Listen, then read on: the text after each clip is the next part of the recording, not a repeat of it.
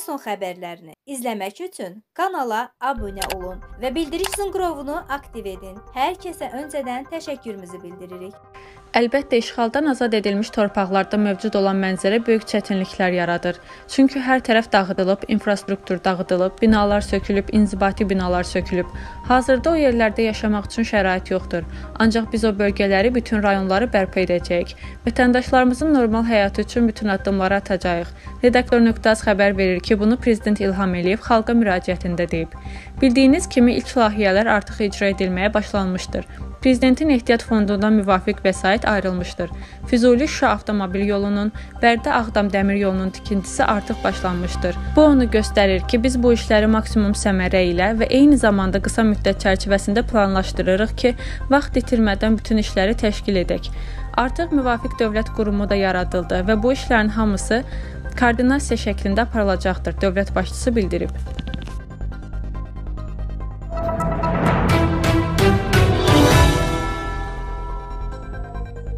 Laçın rayonunda komendant postlarının yaradılması ilə bağlı işlər görülür.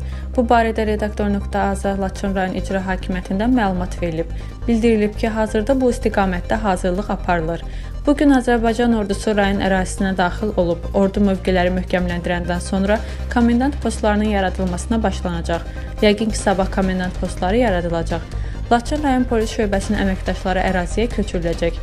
Qeyd edək ki, Azərbaycan Respublikası, Rusiya Federasiyası prezidentləri və Ermənistan Respublikası baş nazirinin imzaladığı üç tərəfli bəyanata əsasən Azərbaycan ordusunun bölmələri dekabrın 1-də Laçın rayonuna daxil olub.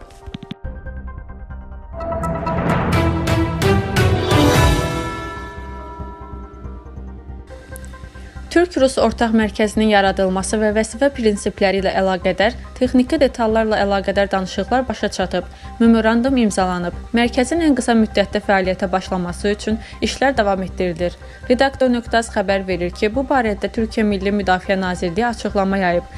Qeyd edilib ki, memorandumu videokonfrans vasitəsilə Türkiyə Milli Müdafiə Naziri Hulusi Akar və Rusiya Müdafiə Naziri Sergey Şovqi imzalayıb.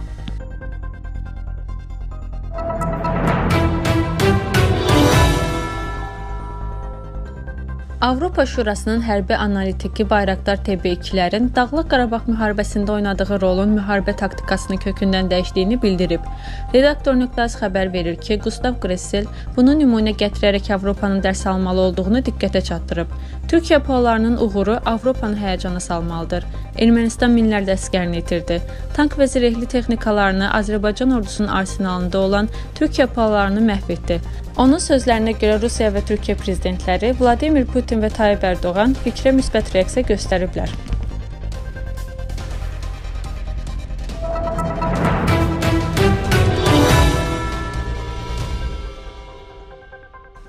Əmək və Əhalinin Sosial Müdafiəsi Nazirliyi Azərbaycanın bütövlüyü uğrunda şəhid olanların ailələrinə və qazi statusu almış hərbçilərə veriləcək təqaüdlər məbləğini açıqlayıb. Redaktor.azın verdiyi məlumata görə Nazirliyin Sosial Təminat Siyasəti şöbəsinin müdiri Babək Hüseynov bildirib ki, Azərbaycanın ərazi bütövlüyü uğrunda şəhid və qazi statusu almış hərbçilər üçün psixoloji və maddi güzəştlərin tətbiqi nəzərdə tutulur. Şəhid və qazi ailələri üçün yardım təqaüd formasında olacaq.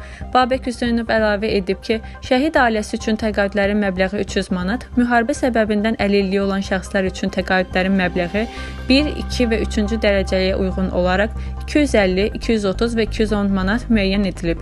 Onun sözlərinə görə nazirliyin tərkibində psixoloji dəstək mərkəzi də fəaliyyətə başlayıb. Bu dəstək müharibə zonasındakı vətəndaşlar, müharibə iştirakçıları, şəhid ailələrinin üzvləri və yaralanmış vətəndaşlar üçün dövlət hesabına təmin ediləcəkdir. Bununla əlaqədar Sosial Xidmət Agentliyi tərəfindən qaynar xətt yaradılıb. Babək Hüseynov qeyd edib ki, psixoloji yardıma ehtiyacı olan şəxslər bu nömrəyə zəng etməklə dövlət vəsaiti hesabına həyata keçirilən dəstəkdən yararlana bilərlər.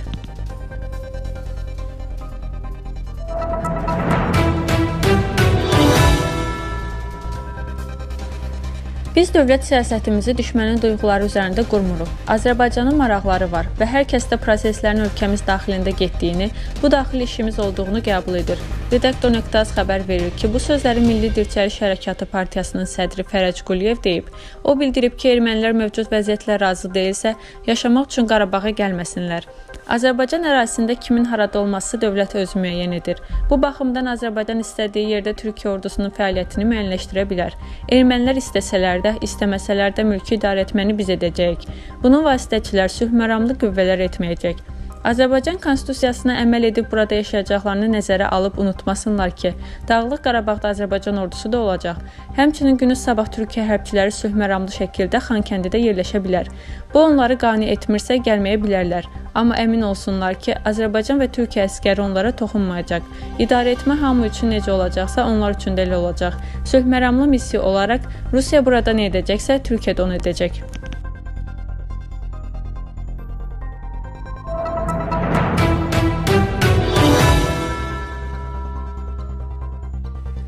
Prezident İlham Əliyev bir qrup hərbi qulluqçunun səfərbərlik üzrə hərbi xidmətdən təxris edilməsi haqqında sərəncam imzalayıb. 1. Azərbaycan Respublikası Prezidentinin 2020-ci il 28 sentyabr tarixli 2280 nömrəli sərəncamına əsasən hərbi xidmətə çağırılmış aşağıdakı kateqoriyadan olan hərbi qulluqçular 2020-ci il dekabrın 2-sindən səfərbərlik üzrə hərbi xidmətdən təxris edilsinlər.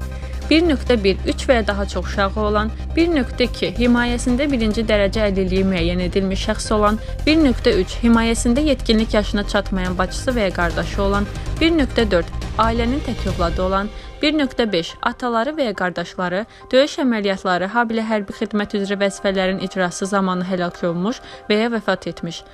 1.6 Döyüş əməliyyatları zamanı yaralanmış, habelə hərbi həkim komissiyaları tərəfindən dinc dövrdə hərbi xidmətə yararsız, müharibə dövründə məhdud yararlı sayılan, 1.7 Yaxın qohumları Ermənistan Respublikasının hərbi təxribatları və Azərbaycan Respublikasının ərazisini atəşə tutması nəticəsində həlak olan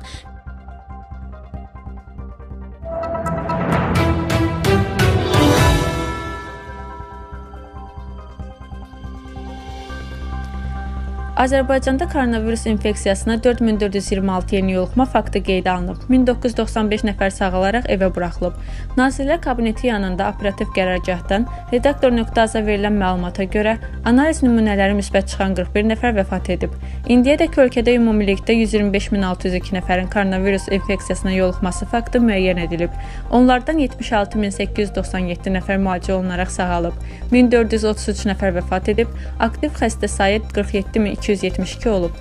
Son sutka ərzində yeni yoluxma hallarının müəyyənləşdirilməsi ilə əlaqədar 17621, bu günə qədər isə ümumilikdə 1 milyard 746 min 198 test icra olunub.